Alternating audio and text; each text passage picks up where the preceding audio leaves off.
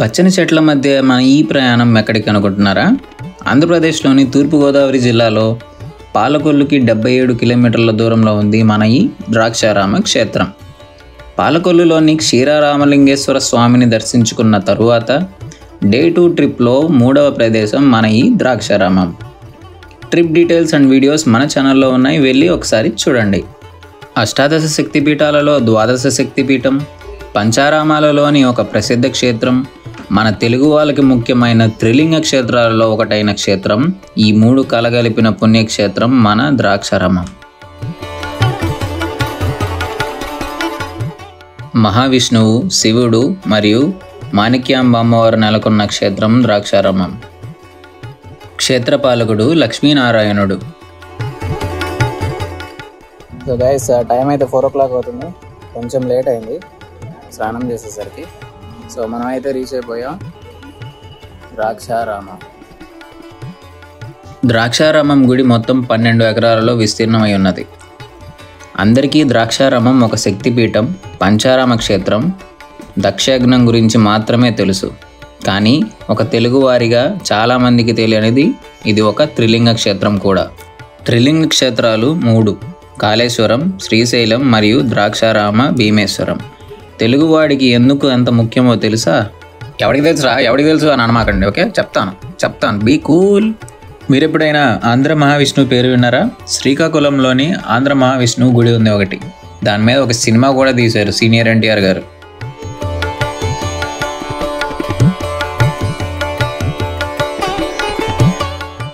పూర్వం ఈ మ్యాప్లో చూపించినట్టుగా శ్రీ మహావిష్ణువు కాళేశ్వరం శ్రీశైలం ఈ ద్రాక్షారామం బార్డర్లుగా చేసుకొని ఈ బార్డర్ పోస్టులుగా ఈ మూడింటిని మధ్య ఒక నిర్బంధంలో ఏర్పాటు చేసి నిశంభు అనే రాక్షసుడితో పదమూడు యుగాలు యుద్ధం చేసి గెలిచారు.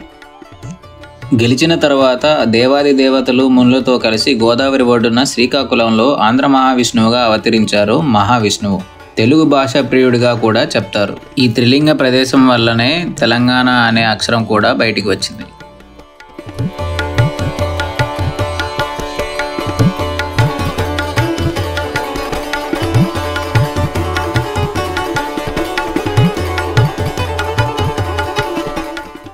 ఇదేంటి ఫస్ట్ ఫ్లోర్ కూడా ఉంది అనుకుంటున్నారా? ఇక్కడ భీమేశ్వర లింగం తొమ్మిది అడుగుల ఎత్తులో ఉన్న స్ఫటిక లింగం. అంతరాలయంలో ప్రదక్షిణ చేయడానికి రెండు దారులు ఉంటాయి. ఈ గోడల మీద ఉన్న ఘాట్లు ఆర్ బంప్స్. పూర్వం ఈ ప్రదక్షిణ ప్రాకారం అంతా గోడలలో నవరత్నాలు పొదిగి ఉండేవి. ఆ నవరత్న కాంతి ఈ మార్గాన్ని అంతా వెలుగుతో నింపేవి. దొంగలు దోచుకోవడం వల్ల అవి ఇప్పుడు లేవు. మనలోని అహంకారం ఎంతటి పెను ప్రమాదానికి దారితీస్తుందో అనేది ఈ ప్రదేశం చెప్తుంది. అష్టాదశ శక్తిపీఠాలకు మూల కారణం ఈ ద్రాక్షారామం. దక్షుడు బ్రహ్మ అంశ.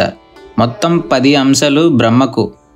వీరినే ప్రజాపతులు అంటారు ద క్రియేటర్స్. వీరిలో దక్షుడి యొక్క ప్రథమ కుమార్తె సతీదేవి.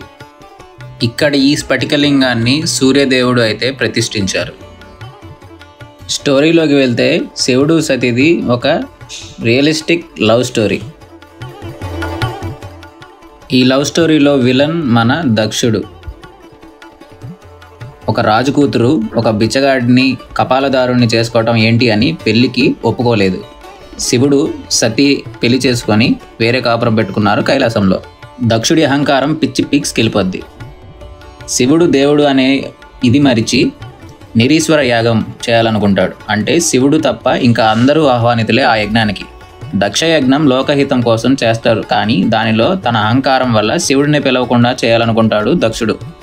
ఈశ్వరుడు లేని యాగం జగత్తుకు మంచి జరగదు అని పిలవని పేరంటానికి వెళుతుంది మన సతీదేవి.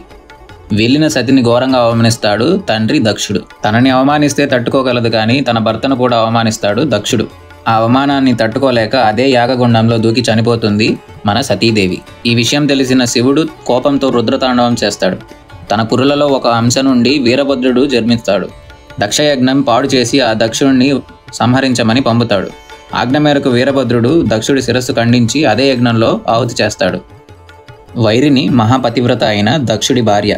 కోపంతో ప్రపంచం మొత్తం మతలాకుతలం అవ్వాలని శాపాలు పెడతా ఉంటుంది. ప్రపంచమంతా అతలాకుతలం అవటం చూసి మహావిష్ణువు బ్రహ్మ దిగ్భ్రాంతి చెందుతారు. ఇద్దరూ కలిసి శివుణ్ణి వేడుకుంటారు. శివ దక్షుణ్ణి కాపాడు దక్షయజ్ఞం నిర్వీర్యం కాకుండా చెయ్యి అని. అప్పుడు శివుడు దక్షుడికి మేషరూపం అంటే గొర్రె ఆరు మేక తలను పెట్టి బ్రతికిస్తాడు. దక్షయజ్ఞం దగ్గరికి వచ్చి అక్కడ చనిపోయి ఉన్న వారందరినీ కాపాడమని దక్షుడు కోరగా సతీదేవిని తప్ప అందరినీ బ్రతికిస్తాడు శివుడు. సతీదేవి తల్లి నా కుమార్తెను ఎందుకు బ్రతికించలేదు అని అడగగా సతికి దక్షుడి కుమార్తెగా బ్రతకడం ఇష్టం లేదు అందుకే బ్రతకలేదు అని చెప్తాడు. అదే బాధతో శివుడు సతీదేవి బాడీని తీసుకొని విలయతాండవం చేస్తుంటాడు. శివుడు బాధకు ఆ విలయతాండవానికి ప్రపంచం మొత్తం మళ్ళీ అతలాకుతలం అవుతుంటే మహావిష్ణువు తన సుదర్శన చక్రంతో సతీదేవి శరీరాన్ని మాయగా ముక్కలు చేస్తాడు.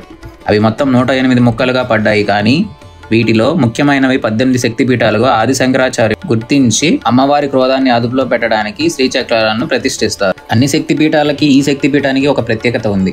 ప్రతి చోట అమ్మవారు ఒక చోట శ్రీచక్రం ఒక చోట ఉంటారు. ఇక్కడ ద్రాక్షారామం మాణిక్యాంబ చాలా క్రోధురాలు. నరబలి కోరేది ఈ మాణిక్యాంబ మీరు గమనిస్తే ఇక్కడ విగ్రహం కళ్ళు కొంచెం లెఫ్ట్కు చూస్తున్నట్లు ఉంటుంది.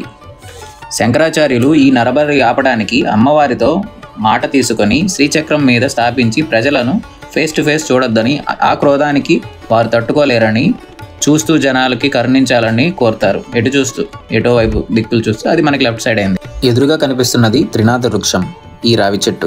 బ్రహ్మ విష్ణువు మహేశ్వరుడు కలగలిపిన వృక్షంగా దీన్ని భావిస్తారు. ఈ రావి చెట్టులో నుంచి పుడుతుంది మన ఈ శివలింగం. ఈ గుడి లోపల భీమసభ అని నూట ఎనిమిది లింగాలు ఉంటాయి. అవి నక్షత్రాలకు ప్రతీక. మనం చివరగా మాట్లాడుకోవాల్సింది ఈ సప్త పుష్కరిణి సప్త పుష్కరిణి ఎలా వచ్చిందంటే సప్త ఋషులు ఈ భీమేశ్వరుడిని పూజించడానికి గోదావరి దేవిని ఇక్కడికి ఆహ్వానిస్తారు. కానీ ఒక మహావృషి ఆ ఆహ్వానాన్ని తిరస్కరించి గోదావరి తల్లిని ఆపుతాడు. ఏదో విధంగా సమస్యను సద్దుమణిగింపు తర్వాత అంతర్వాహిని కింద గోదావరి అనుమతితో ఈ కొలను ఏర్పాటు అవుతుంది. అందుకే దీని పేరు సప్త పుష్కరిణి అంటారు.